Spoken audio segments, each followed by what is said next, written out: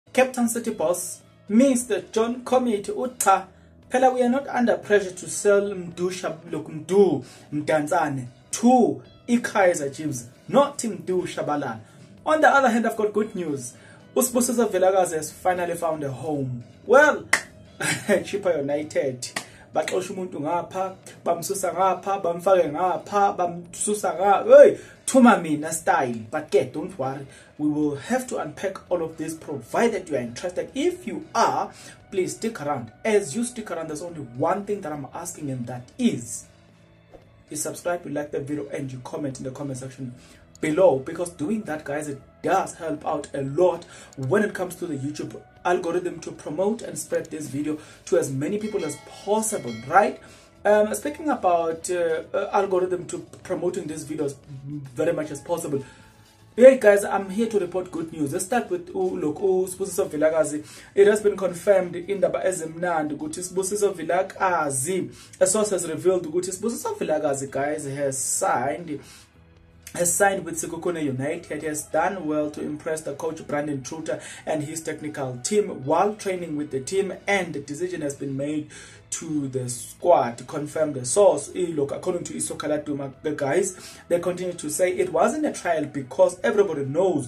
what villa Uh, what Vila can do. It was just a matter of assessing him to see how he can fit into the team.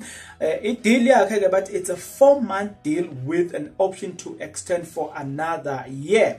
So yes, congratulations to the boy. Um, lokho usibusiso velakazi was let go or released by ilokho itex galaxy moving from one club to another let's go to chipa united chipa united have released recently released umamila as a coach well it has been confirmed ukuthi mamila is now they are going back to the managerial position I don't know whether I should say CEO, but yeah, a source nakona has confirmed to know Morgan Mamila is still around, but Cha is not going. He's, he is staying with the team, but he in a different capacity.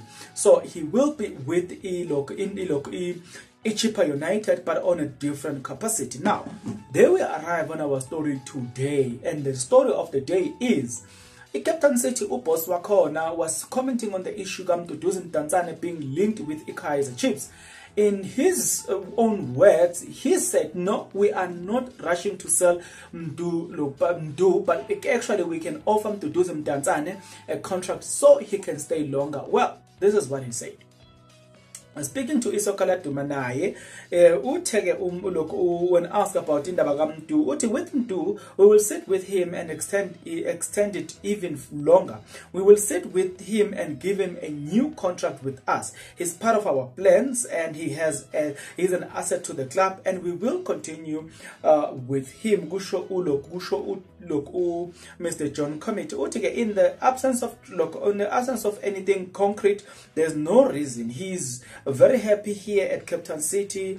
It was an opportunity for him and um, we obviously didn't want to be on his way but it, it, look it, it, it fell through but we just carry on we will just carry on with uh, usual business yeah so then essay, esiyithola that John committee john committee is simply saying they, are more, they were more than willing to let go umdu um, and to ikhaza but Kara Chips doesn't seem like they were very much keen or serious to sell Mdu. Therefore, there's nothing that they can do except to just allow things to unfold as it unfolded. And what they can all do is just to keep him longer because he's an asset to them. So we agree to that.